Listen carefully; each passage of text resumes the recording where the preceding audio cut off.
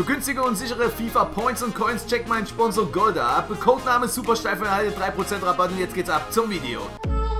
Never. Nobody else. Wait. Die smarteste Community auf YouTube ein herzliches Willkommen zu einem weiteren Video auf meinem Kanal und heute etwas ganz Besonderes. Ich habe es bei äh, Twitter angekündigt, ich habe es bei Instagram angekündigt und jetzt ist es soweit. Und zwar möchte ich äh, versuchen, das erste Mal ein Spiel von mir euch äh, zu zeigen. Und ähm, es ist das Ganze so passiert, ich bin leider verletzt, habe mich gezerrt, aber trotzdem habe ich bei Twitter gefragt, Jungs, wie sieht's aus, hättet ihr trotzdem Bock, dass ich mal das Spiel filmen werde, damit ihr einfach mal seht, wie sieht es aus, wenn man nicht in der Kreisliga spielt? Ich spiele ungefähr drei Ligen höher und zwar in der Landesklasse in Sachsen, Landesklasse Schieß mich tot. Ich habe natürlich den Link zu unserer Mannschaft, den Facebook-Link unten reingeballert. Deswegen, wenn ihr, wenn ihr Bock habt, äh, gebt dem Ganzen natürlich einen Daumen nach oben. Das freut nicht nur mich, sondern auch die ganze Mannschaft, den Vorstand und so weiter. Ich habe dazu noch natürlich unsere Erwärmung gefilmt. Ich wünsche euch ganz, ganz viel Spaß. Ich weiß noch nicht, ob ich es nachkommentieren werde, das komplette Spiel oder auch nicht. Jetzt kommen wir erstmal zur Erwärmung. Jungs, viel Spaß. What's a fella to do? Money showing true colors like the melanin do. Labels grabbing rappers, look at what they tell them to do. Lose the integrity and here's some cheddar for you. So I ask him what's a fella to do? Money changed you, but I feel like a genuine dude.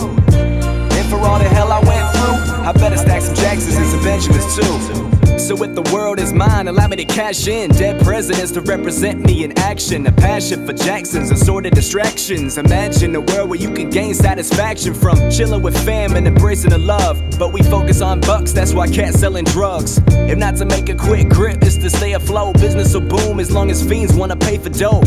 A never ending influx of cash, but if the police on your ass, you get crashed, you better dip fast. It's not just in the hood, the dope slanging. Even cats up north get endorsed to make a payment. High school kids with a notion of guap. Selling booth to the freshmen, I guess it pays off. All around me, mad cows for the cabbage. Unfortunately, status and money can make you average. So what's a fella to do? Money showing true colors like the melanin do. Labels. Video. They tell him to do. Lose the integrity and here's some cheddar for you. So I ask him what's a fella to do. Money changed you, but I feel like a genuine dude. And for all the hell I went through, I better stack some Jacksons and some Benjamins too. AZ told me life's a bitch, and I agree. Only when I'm sleeping and dreaming, I'm ever flying free.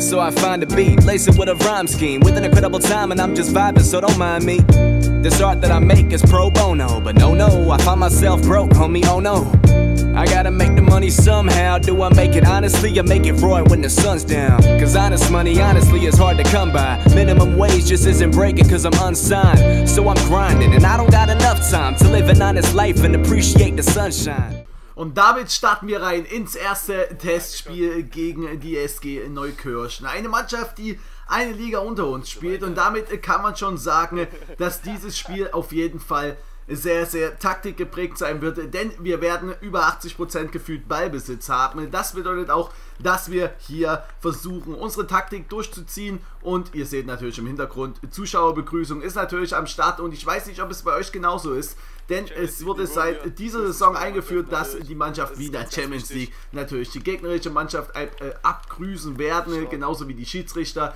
Und damit können wir dann das Spiel starten. Es ist auf jeden Fall ein Spiel, wo man sagen muss, wir müssen da Vollgas geben. Wir wollen natürlich, wenn es nächste Woche beginnt, mit der Rückrunde gut reinstarten, denn da steht das erste Derby an, das wohl ja, vielversprechendste Derby, was es so in Chemnitz zurzeit gibt, denn das sind so die beiden Mannschaften, die in dieser Liga sehr, sehr harte, äh, eine harte Rivalität haben. Jetzt gehen wir erstmal dazu, dass wir natürlich wieder mal uns im Kreis aufstellen. Da gibt der Kapitän natürlich auch noch ein paar Anweisungen. Ich werde jetzt erstmal noch nicht die Aufstellung in irgendeiner Art und Weise zeigen. Das werde ich einfach einführen, wenn ich sehe, dass ihr wirklich Bock darauf habt. Ich kann euch sagen, wir spielen im System 4-2-3-1. Heißt sozusagen, wir spielen mit einer ganz normalen Viererkette, zwei Sechser dazu, linkes und mit, äh, rechtes Mittelfeld. ein Zehner ist natürlich am Start, genauso wie ein Stürmer. Unsere ja, Konsequenz oder unsere Taktik ist einfach Pressing. Pressing auf die richtig starke Art, ähm, immer wieder vorne zusetzen, immer wieder den Gegner unter Druck setzen, schnelle Ballgewinne und dann ein schnelles Umschaltspiel. Das ist ganz, ganz wichtig und damit starten wir rein. Wir starten natürlich auch mit elf Mann, die es wirklich verdient haben, hier auf dem Platz zu stehen. Und ich denke mal, dass wir ein richtig gutes Spiel sehen werden. Am Anfang muss man einfach auch noch sagen, dass ich ähm, es noch nicht hinbekommen habe, mit meinem Stativ das ordentlich zu drehen. Da gab es irgendeine Einstellung, die habe ich erst ab der zweiten Halbzeit rausgefunden. Ne? Die zweite Halbzeit hat dann mein Bruder gefilmt, also da nicht wundern. Jetzt gehen wir direkt mal erstmal in die erste Szene rein, indem wir hier einen langen Ball spielen. Und er kommt nicht ganz so schlecht auf unseren Stürmer. Und da haben wir hier die Möglichkeit. Und äh, was macht da bitte? Der gegnerische Verteidiger. Er spielt das Ding eigentlich zum Torhüter oder will es zum Torhüter spielen. Und da stauben wir natürlich ab. Da sind wir auf jeden Fall da und so schnell geht's. Da steht es 1 zu 0 schon in der knapp 10. Minute, wenn mich nicht gar alles täuscht für uns. Erste Szene, die wirklich richtig intensiv hier in dem Spiel zu einer Torchance dann gelangen ist. Und keine Ahnung, was der Verteidiger da gemacht hat. Da steht dann natürlich unser Zehner, der da eben gerade gespielt hat, da und staubt da eiskalt ab. 1 zu 0 für uns. Und das reicht uns natürlich, dass wir hier zumindest schon mal, ja, in irgendeiner Art und Weise auch vorne liegen werden. Ne? Im Übrigen spreche ich da gerade mit unserem Rechtsverteidiger, denn der ist äh, ganz am Anfang des Spiels öfters mal ausgerutscht und da sollte er sich vielleicht neue Schuhe bestellen. Wir bleiben direkt mal bei dieser Szene, denn diese Szene wird direkt nach dem Anstoß äh, sein. Ihr seht auf jeden Fall, wie sieht's aus, was passiert, wenn der gegnerische, äh, der gegnerische Club einfach im Angriff ist. Und ihr seht es direkt, Vollpressing, Vollgas geben, draufschieben und so schnell wie möglich den Ball wieder zu erobern. Das ist ganz, ganz wichtig und damit spielen wir hier das Ding wunderschön rechts raus, haben Glück und da gibt es sozusagen den ersten Krampf.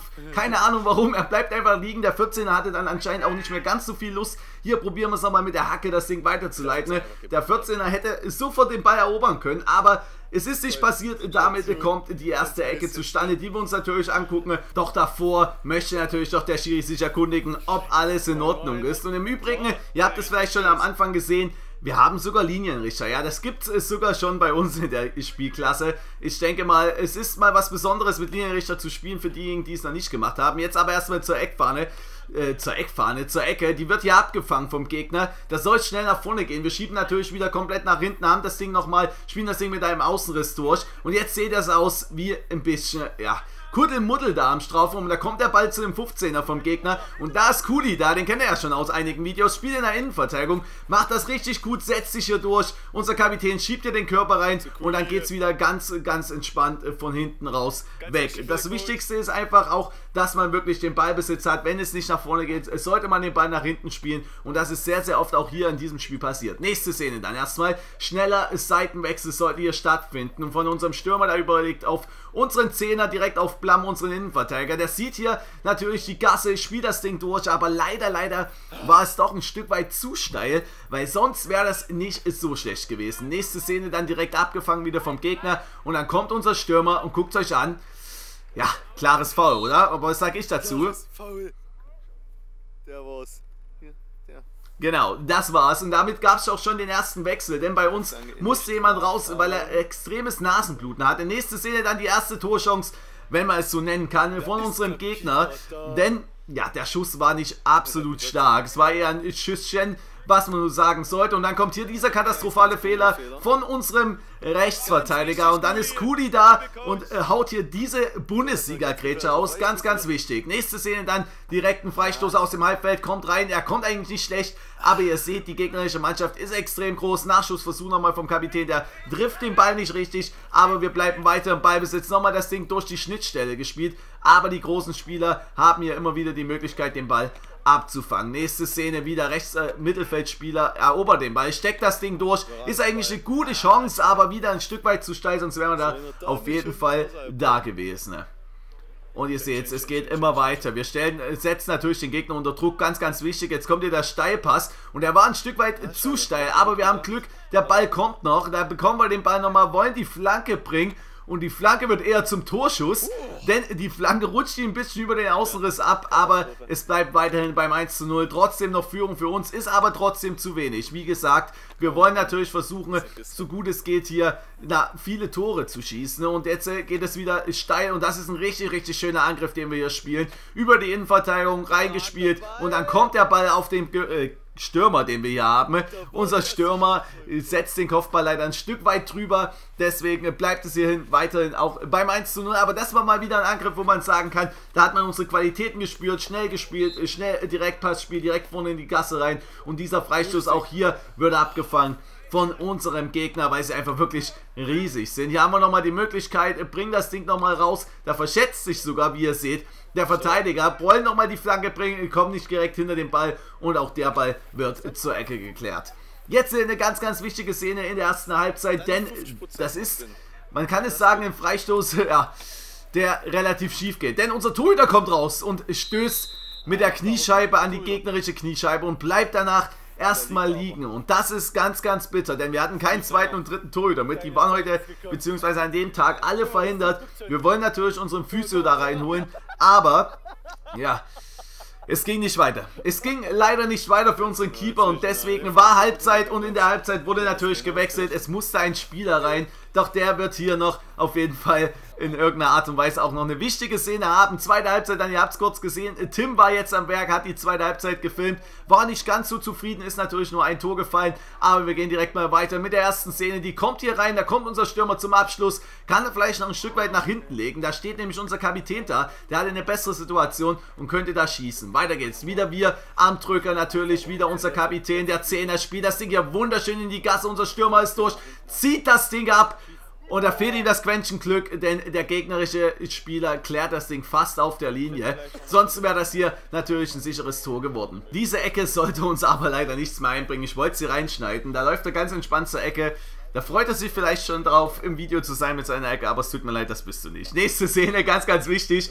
Hier, denn unser Spieler war natürlich im Tor und er kam zu der richtigen, großen, starken Möglichkeit hier an den Ball und dann ist unser Torhüter da, beziehungsweise unser Spieler. Wir klären das Ding nochmal auf der Linie. Das war ganz, ganz wichtig, sonst würde es hier natürlich 1 zu 1 stehen und wir haben Glück, dass da unser Keeper in Anführungsstrichen da ist und das Ding hält. In den nächsten Szenen hier Tim am Werke mit der Kamera. Kam da nicht so wirklich hinterher. Nochmal ein Abschluss, der war aber nicht so optimal. Hat's probiert, aber es sollte jetzt endlich wieder Zeit sein, hier ein Tor zu machen. Diagonalball von Kudi, der kommt irgendwie durch und guckt euch diese Mitnahme an. Ist nicht so überragend, aber unser Kapitän staubt ab, ist da, macht das 2 zu 0. Und unser Kapitän hat dann natürlich zu der Mitnahme noch was eigenes zu sagen, denn das seht ihr gleich in dieser Szene. Aber es war richtig stark gemacht. Guter Ball von Kudi. Und jetzt ganz kurz nochmal, was sagt unser Kapitän zu dieser Ballmitnahme? Nochmal. Nochmal. Wie ein Kicktipp. Äh, Männle, was man so sagen kann. Weiter ging es dann 2 zu 0 sozusagen. Überragend, dass wir jetzt mindestens mal mit zwei Toren vorne lagen. Hier wieder die nächste Balleroberung, wieder unser Kapitän setzt sich hier richtig stark durch, spielt das Ding auf unseren Stürmer. Der legt das Ding rein und da steht er da, unser Zehner, unser Florian, der haut das Ding hier zum 3 zu 0 rein, macht damit sozusagen seinen Doppelpack, wird Man of the Match und danach muss ich leider zugeben, war mein Speicher voll und mein Akku leer der Kamera. Und deswegen haben wir das Ganze mit der Legria gefilmt. Deswegen nur noch eine entscheidende Szene, die ich hier filmen werde. Hier kommen wir wunderschön über die Außen, spielen das Ding hier perfekt rein. Perfekt eigentlich, auch nimmt er das Ding mit. Und da ist Lassie nochmal da, haut das Ding rein in die Mitte, will ihn zu unserem Kapitän spielen, aber da ist ein Eigentor da. Und da ärgert er sich natürlich, weil er eben selber das Tor nicht macht. Aber trotzdem, es war mannschaftsdienlich. Er wollte das Ding nochmal rüberspielen. 4 zu 0, somit auch der Endstand, das wir hier haben werden, oder den wir hier haben werden. Und damit gewinnen wir auch das ganze Ding ganz souverän dann doch noch mit 4 zu 0. Und jetzt kommen wir nochmal zur letzten Szene hier, indem wir das Ding über die Außen spielen. Wunderschön gemacht, nochmal weitergeleitet. Wir haben natürlich nochmal ein bisschen was probiert, kommen wir richtig gut durch. Und jetzt spielen wir das Ding ab. Und jetzt guckt es euch an, super überragend. Will er das Ding anlüpfen, nimmt ihn nochmal direkt mit, zieht das Ding Volley ab. Und das war nochmal eine richtig, richtig geile Szene von unserem rechten Verteidiger. Keine Ahnung, was er da vorne wollte. Aber somit endet das Spiel mit 4 zu 0. Wir freuen uns darüber, dass wir das Ding natürlich gewonnen haben. War nicht die beste Leistung, muss man einfach so sagen.